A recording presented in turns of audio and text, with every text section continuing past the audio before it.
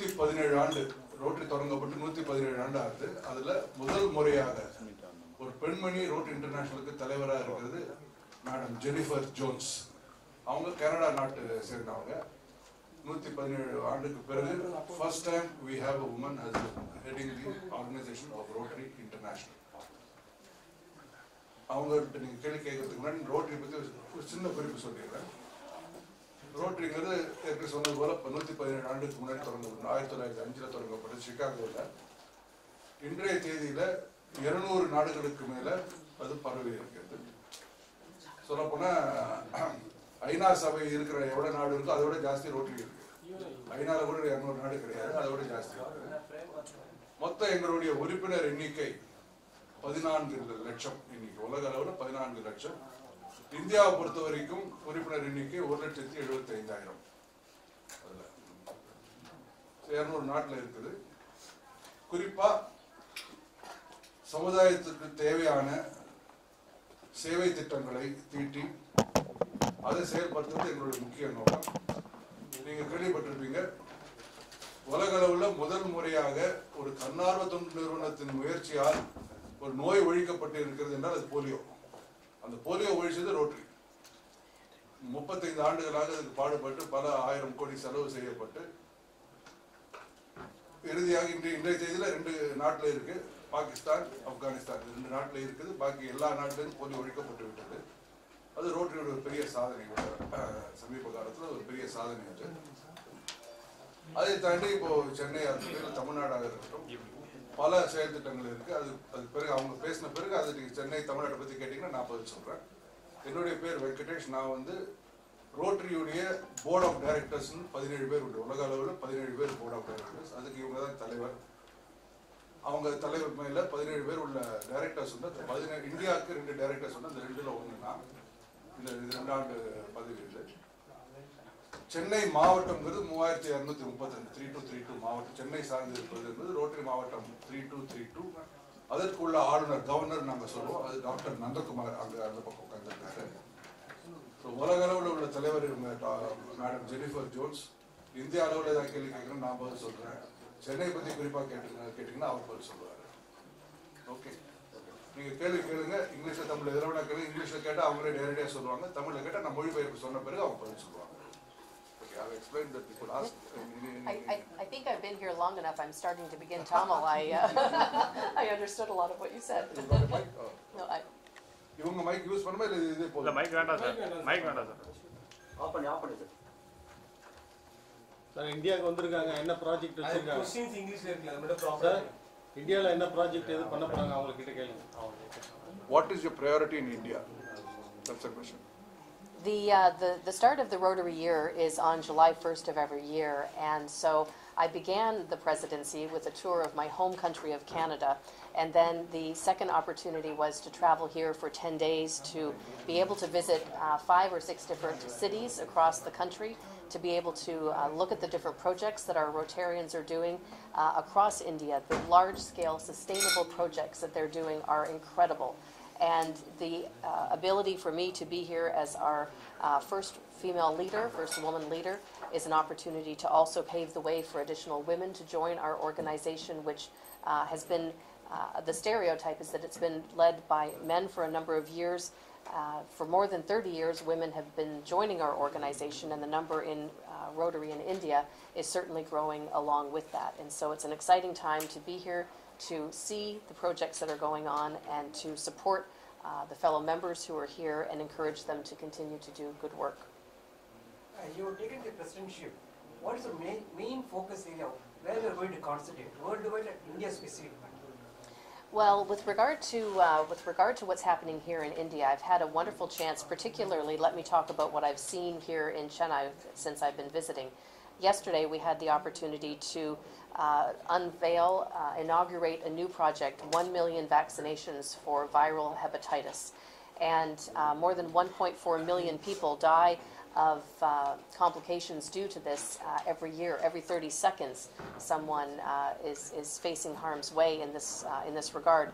And so, this project that was inaugurated yesterday has the ability to change and save lives. It's about early detection, treatment, and uh, making sure that uh, a disease that has gone undetected in many people, that we have the opportunity to be able to detect that. And so, uh, I, what I see here is a, a lo- the launch of a project that, uh, while it is in this city, it has the ability uh, to have a proven track record of success, to show uh, the best the best pro- probability for success, and then from there, it has the ability then to amplify to different parts of the world as well. So I see that uh, certainly Rotarians in this part of the world are leading the way in many different health initiatives. Other than the health sector, do you have anything, we focus on educational sector, something like that, madam? Can you briefly explain that. Yes, uh, thank you for that. Our organization has what we call seven areas of focus, and they're everything from the uh, creation of clean water and sanitation and hygiene opportunities for people around the world. We work on peace development. Uh, we work on the uh, basic education and literacy of children across the globe.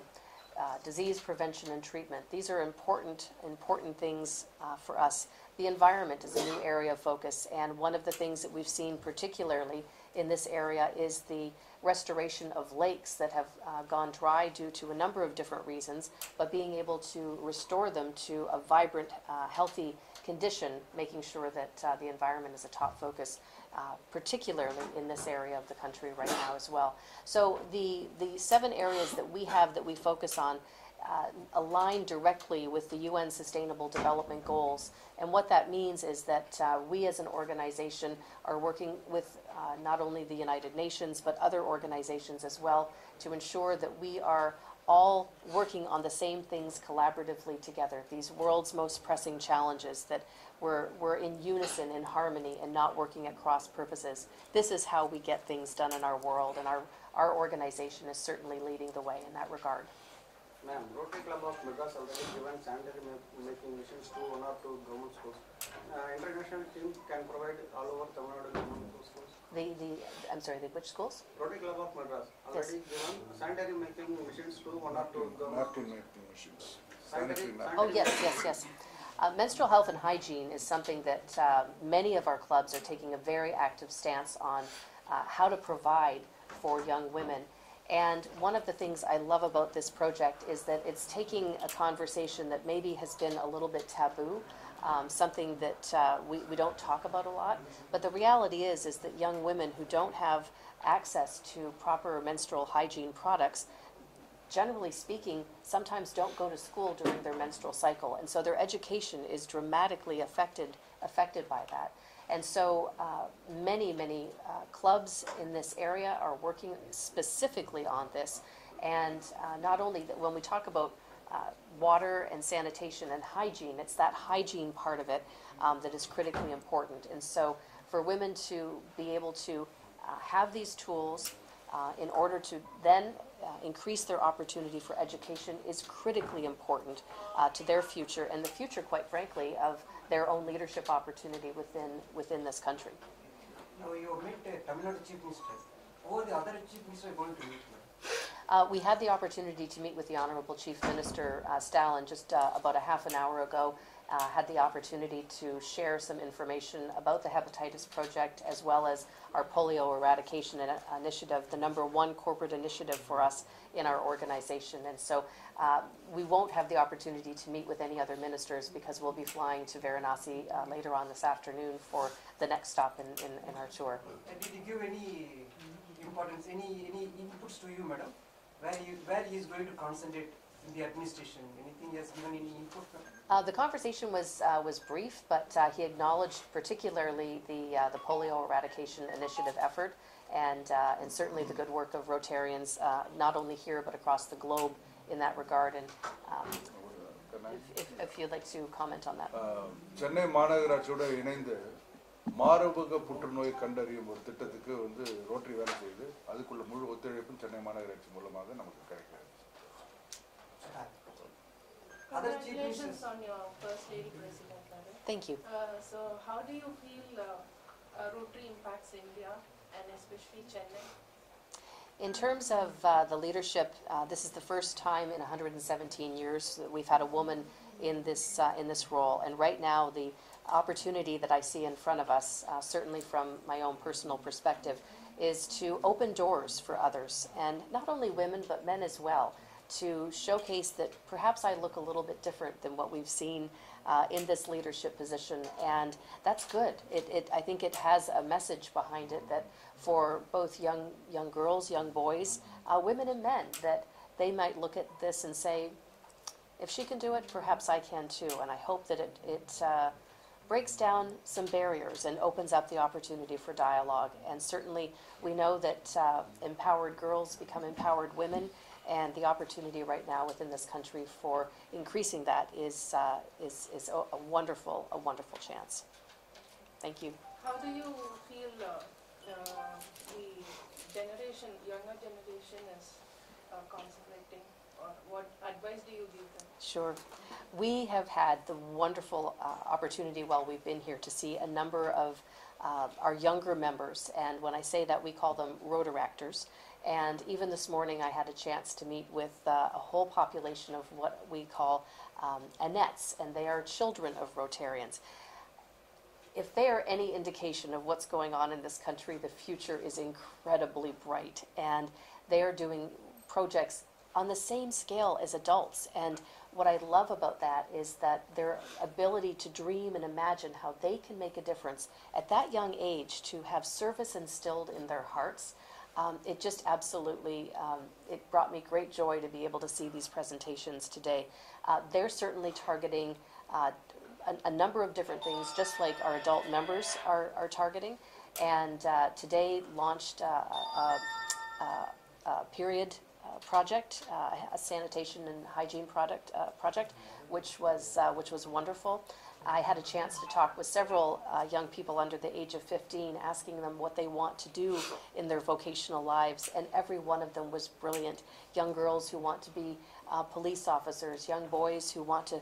The one young man told me he wants to change the world, and he's going to do it by being a scientist. So these these kids have uh, wonderful opportunities in front of them, and um, it really filled my heart with a lot of joy to see the bright future that they uh, that they're bringing forward uh, to this country, and certainly children everywhere in the world. Rotary Club target uh, le- increase to uh, women membership. The, uh, the global membership of our organization, when it comes to uh, the role of women, is approximately 25 to 26 percent. Uh, here in India, it's about 16 percent, and so there's an opportunity to grow that. Looking at uh, trying to grow our membership, and certainly uh, leading by example, wanting to grow it to approximately 30 percent in in the near future by 2023, the end of 2023. And so I think that uh, certainly this opens dialogue. My leadership uh, opens dialogue for people to look toward how, how can we have conversation about diverse perspective. And it's not about uh, having gender balance per se, it's about making sure that we bring together people from all different walks of life, whether it's men and women, whether it's from different cultures, different um, religions, uh, all, all different things that we bring to the table make us strong. And so our clubs, when we're looking to uh, solve problems, uh, the world's most pressing challenges, when we bring our own unique vantage point, but then are able to collectively talk with others who think a little bit differently, that's our strength. Diversity for us in our organization is absolutely our strength. And so uh, it's important for us right now to make sure that we are having conversations in all of our communities to, to ensure that our membership reflects our communities. And so that means uh, having that diverse perspective. Thank you. Do you have any target for this year to increase membership? Well, in terms of increasing membership, we've uh, just actually realized our first uh, net positive growth in the past six years uh, globally within our organization. And my emphasis and uh, the emphasis that I'm helping our members to see right now is to make sure that it's not about necessarily growing the numbers, it's taking care of our members and the comfort and care of our members. And in each of those clubs uh, across the globe, our 46,000 clubs, if we take care of our members, we take care of our communities. And so if people join and stay our, within our organization, and we have clubs that are vibrant and relevant and doing good work, uh, without having to ask people to join, they'll come because they see the good work that's happening and want to be part of a success story. How do you understand the Indian culture and Indian demographics? What is your advice for the Indian? Well, in terms of, uh, in terms of the, the, the Indian experience, I will tell you this is my fifth uh, visit to your country uh, over the past decade, and uh, I, I absolutely, I absolutely love it. And uh, at home in Canada, I, I think I probably have Indian food once a week, and our best friends uh, cook Indian. And uh, so the culture here, the people here, the warmth is something that uh, that I embrace full heartedly. And to be able to see the difference in culture going from city to city has also been quite extraordinary. Going from the south to the east to the west, and now uh, heading north the opportunity to, to, to see the differences, the nuances. I liken it very much to being in my home country where um, when we go from east to west, it is dramatically different across, across our country. And so that ability within our organization to, I think, I like to say that we exist without borders and boundaries. We're kind of, uh, as an organization, one big country. And that gives us the opportunity to appreciate and learn from each other about all of our cultures. And, uh, and, and I, I think that the important part of that is that when we see things happening in our world, it's not foreign to us. To come here, it doesn't feel different. It feels very warm and inviting and friendly because I have friends. To show up and know that there's people here who I already already have a relationship with, it's not it's not foreign. It becomes very much uh, our our Rotary world. So, normally Rotary is considered as for top class people. for middle class, do you have any plans? You know, normally only top class people will join Rotary. Normal class, uh, what is your uh, take on that? I'll, I'll start with that, and then Venki, you can, uh, you can jump in. We uh, certainly want the best and the brightest in our organization, and we, we term ourselves people of action. I've added to that this year to say that we're people of action, people of purpose, people of influence. And if you think of, for, uh, for an example, a young person who maybe isn't at the top of their vocational game, um, think of a young person like, like Greta, uh, who's taken the environmental world by storm uh, at a young age, a person of influence who can open doors. Uh, I'm not suggesting that we're, we're bringing children into uh, to membership, but we want people who um, we want people who are able to open doors, who have connections, and who are influencers, who um, are able to uh, make sure that our communities and our world know what it is that we're doing. And so we, we, we need to maintain, uh, we have high ethical standards, um, and we need to maintain that in our membership. But we want the best and the brightest. And I, I think that there is an opportunity for um, us to maintain levels of membership at the highest ranks of, of all of our vocations, but I think there is an opportunity to bring others in as well. And Venki, I don't know if you would like to comment. அது நீங்க சொல்றதுக்கு கேள்வி புரிஞ்சது சரின்னா பணக்காரங்க மட்டும்தான் இதில் இருக்க முடியும் அதுதானே கேட்க வந்தீங்க அது உண்மை இல்லை இன்னைக்கு இப்போ சென்னையில் எடுத்தாலே நீங்க வந்து அஹ், எட்டாயிரம் உறுப்பினர் எட்டாயிரத்தி எட்நூறு உறுப்பினர் இருக்காங்க அதுல நடுத்தர வர்க்கம் நம்ம நினைக்கக்கூடிய வர்க்கத்தை சேர்ந்தவங்க பாதிக்கு மேல இருப்பாங்க ஒரு காலத்துல இருந்துச்சு ஒரு நாற்பது வருஷத்துக்கு முன்னாடி ரோட்டரிங்கிறது ஒரு மேல்குடி மக்களுக்கு மாத்திரம் உள்ள நிறுவனம்னு இருந்தது. அதெல்லாம் மாறியாச்சு இப்போ. நடுத்தர வர்க்க மக்களும் நிறைய பேர் இருக்கிறாங்க. உறுப்பினராக இருக்கிறதுங்கிறது அவ்வளோ ஒரு காஸ்ட்லியான விஷயம் இல்லை. ஆனால் தேவை என்னன்னா பணம் அவ்வளோ இல்லை. சேவை செய்யணுங்கிற மனம் தான் தேவை இப்போ. அதுக்குள்ள உறுப்பினருக்கு நிறைய பேர் இருக்கிறாங்க.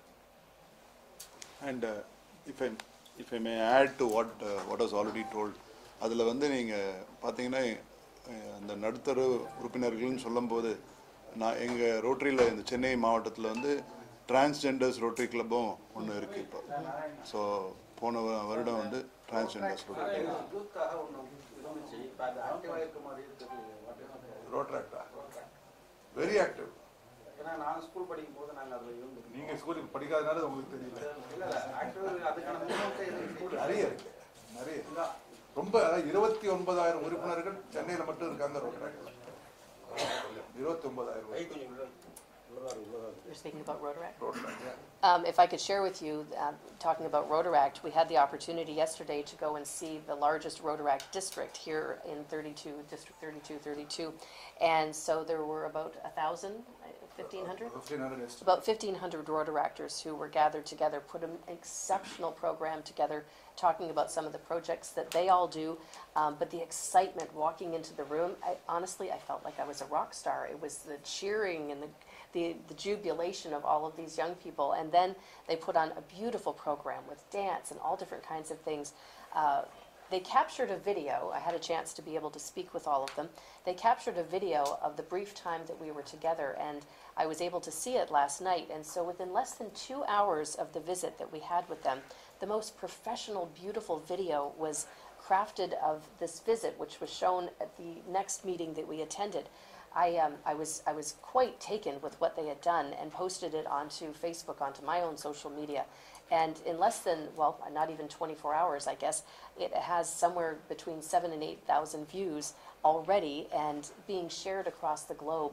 And this opportunity, because we're a global organization, for others to see uh, what these younger younger members have done, uh, it really showcases the best and the brightest of what exists right here in your own community. Sir, you said a club for transgender. Is one specific club for people or transgender are already there in the clubs? அந்த அந்த கிளப்ல இருக்க அத்தனை உறுப்பினர்களும் transgenders Madam, your uh, advice on image theme and DPI? Image theme. Imagine. Oh, yes, imagine. The, um, the theme of Imagine is, uh, I, and I selected that word not because of the John Lennon song, but because I believe it gives us the ability to dream and to not, uh, not dream small dreams, to, big, uh, to dream big dreams.